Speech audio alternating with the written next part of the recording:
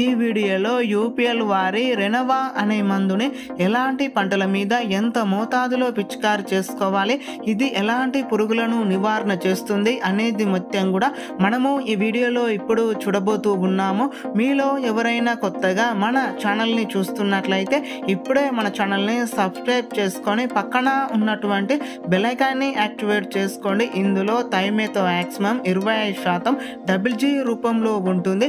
Double G అంటే water dispersible granules అని అర్థము. ఇది ఒక బ్రాడ్ సెక్ట్రమ్ ఇన్సెక్టిసైడ్ పురుగు మందు మరియు ఇది సిస్టమిక్ అండ్ కాంటాక్ట్ యాక్షన్ ద్వారా వర్క్ చేస్తూ ఉంటుంది. ఈ మందుని పిచికారి చేసిన వెంటనే మొక్కలోని అన్ని భాగాలకు సొచ్చుకొని పోతూ ఉంటుంది. ఈ మందు పురుగులను తాకినా లేదా పురుగులు ఆహారంగా తీసుకున్నప్పుడు పురుగుల యొక్క స్టమక్ యాక్షన్ మీద వర్క్ చేసి పురుగులను వెంటనే చంపివేస్తూ ఉంటుంది.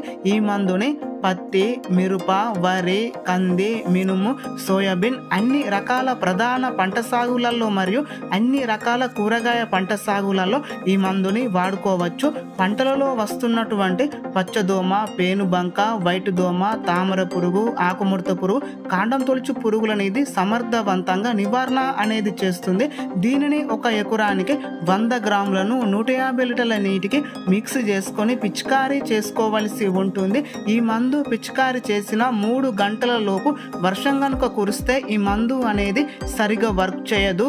ముందు ముందు ఈ ఛానల్లో అన్ని పంటలలో వచ్చే సమస్యలపైన మరియు పురుగు మందులపైన తెగుళ్ళ మందులపైన రివ్యూ చేయడం జరుగుతుంది. ఈ వీడియో మీకు నచ్చినట్లయితే లైక్ చేయండి షేర్ చేయండి. హెచ్ఎంఆర్ తెలుగు అగ్రికల్చర్ ఛానల్ని సబ్స్క్రైబ్ చేసుకోండి.